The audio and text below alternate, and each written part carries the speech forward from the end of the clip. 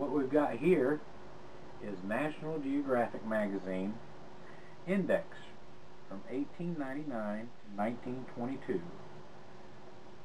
and it seems to be in pretty good condition. And it was printed in 1923 and uh, the interior looks pretty good.